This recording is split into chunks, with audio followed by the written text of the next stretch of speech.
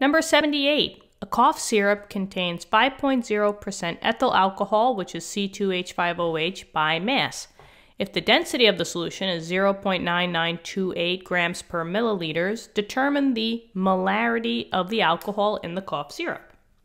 Okay, so it looks like they gave us two numbers here. They gave me a percent by mass number, so they gave me a percent, and then they also gave me a density value. And from there, somehow we have to find out the molarity. Well, I guess we should start off with, you know, what molarity actually equals. Now, when they're giving it to you in terms of density and they're talking about a solution and it's a percent by mass, I would write out the full molarity formula.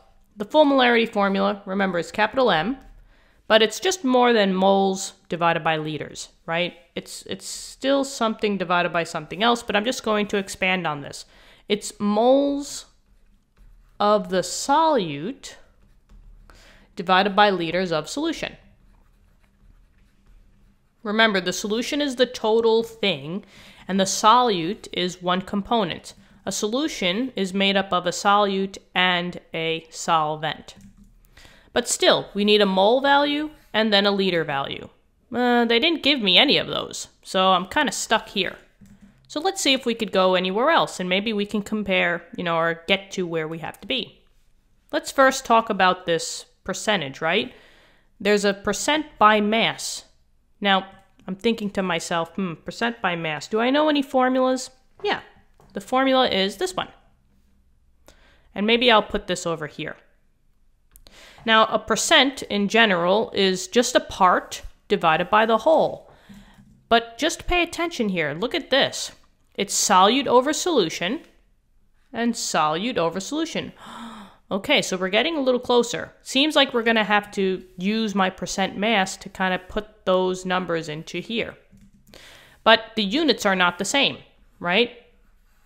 Ooh, that was that was a little crazy. Um, we have mass on the percent mass equation and then moles and liters. But they only gave me a percent value, which means I only know this number, right? But let's let's entertain this thought. I have 5.0 equals something times 100, right? They didn't give me the solute mass and they didn't give me the solution mass. But maybe I could put numbers in here to make this equal to 5. Let's start with the 100. I don't want this 100 here. So technically, if this is an enumerator, right, the 100 should be on the bottom. Oh. And I say grams because it's a mass, but the number 100 will cancel out. What number would be on the top to get it equal to 5 if these cancel out?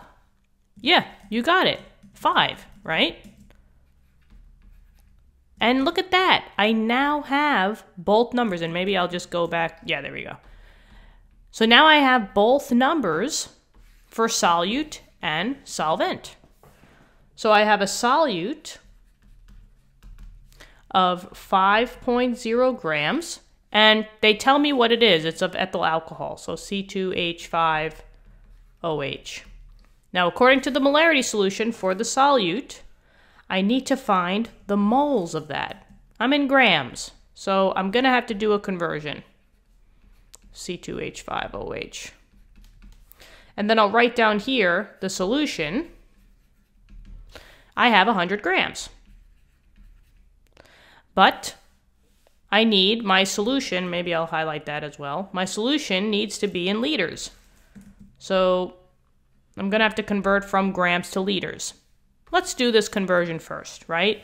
We've done tons of converting in which we convert from a gram to a mole of the same compound. That's using the periodic table and a conversion factor. So we got this. We write out what we are given, the 5.0 grams of the C2H5OH. We times by the ratio. We do not want this unit, so that goes on the opposite side and we want the moles of C2H5OH. If we're using the periodic table, remember that wherever the word mole is, you have one mole. because one mole of whatever it is equals the mass on the periodic table. So get your calculus out, get your periodic tables out, and let's see if your number matches mine. I'm going to get the mass value for ethyl alcohol, which, by the way, is if you're over 21, right? This is the alcohol that we drink. Ethyl alcohol is the beverage alcohol. Yeah? So all you're doing is, you know, you're basically drinking this compound. Fun. but anyway, let's get the mass of this. So I'm going to go on my periodic table. Let's see, I got two carbons, 2 times 12, 0.01, plus there's a total of six hydrogens here, right? So 1.008, and then there's only one oxygen, so 16. And I believe, yeah, 46, did I do two? Yeah, 46.068. There you go cancel the units that you can. And now this looks like it's just a simple division, right? It's 5 divided by 46.068.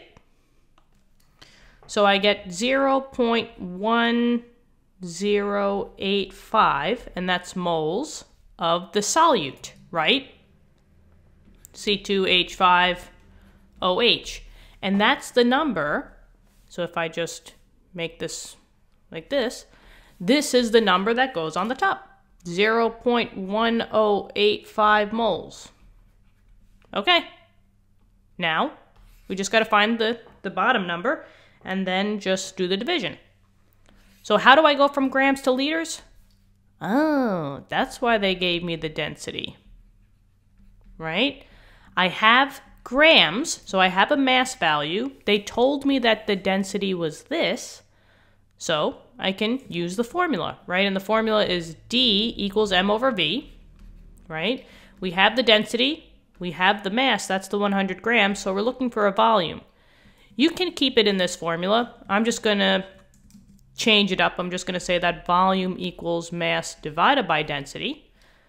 And I'm just going to do the straight uh, division here. So we have the mass, which was 100 grams, and divide by the density, which is 0.9928. Okay, so what do we get as our volume? 100 divided by 0.9928. I get 100.73. But now what unit is it, right? We want liters, but did we get it in liters? Well, look at the density units, guys. If we inputted a gram for the mass, and that's what we had here, what comes out? Oh, milliliters. So always use your units to help you out. But I still want liters. So how do I go from milliliters to liters? We know that conversion. That's just simply dividing by 1,000. So all you got to do is just take this number and divide it by 1,000. So my new volume, which I'll put up here, is 0.10073, and now that's in liters. That's the number that goes on the bottom. 0.10073 liters. And finally, you get your answer. 0.1085 divided by 0.10073 looks like since this is the lowest sig fig amount, I technically, if we're doing sig figs, I technically should have two sig figs, so this would be 1.1 molarity. Or moles over liter. Yeah? Okay. So there you go, guys. What do you think? Hopefully this helps. Let me know in the comments. Give this video a thumbs up if you want. Subscribe to the channel. Thank you, thank you, thank you so much for that. And I hope you guys are having a great day.